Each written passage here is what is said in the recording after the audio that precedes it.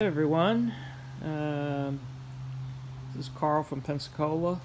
Hey, uh, I have a 2018 TI Sport and I added a carbon fiber wing onto the back trunk lid.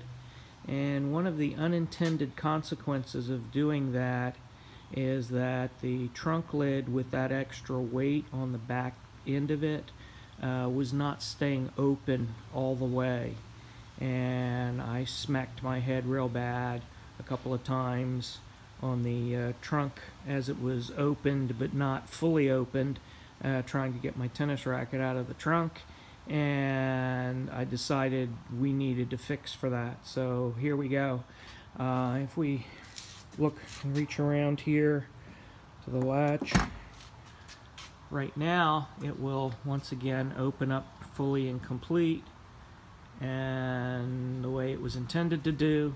And one of the easy fixes for doing that is if you open this battery hatch right here, take this cover down, you'll notice inside of here is a, one of the long springs and all you have to do is count over three rows from the end of here and put a little tie wrap and put two of these just 180 degrees around from one another, cinch them up real good, and just that little bit of squeeze on that spring will again elevate this from coming from about there normally all the way up and now it'll stay up completely.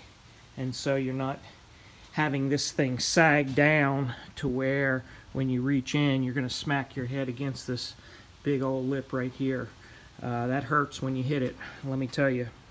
Um, the other thing I noticed was just to the left of the electric latch uh, is a little plug right here. I wanted to see what was that in there. And if you take this open and pull this out, lo and behold, there's a string already pre-attached and that is a mechanical opening. You would lap that to the outside. If you ever disconnect your negative battery and you want to close the trunk don't do that without uh, using this attached string. Uh, I think that is in the user's manual on one of the hundred pages in the manual. Uh, but uh, that's what is under this little plug. It's very convenient and uh, again, don't expect to get your trunk lid open uh, if you disconnect your battery and happen to close the trunk uh, because that's an electric lock. Okay, two tips for the price of one. Hope this helps everybody.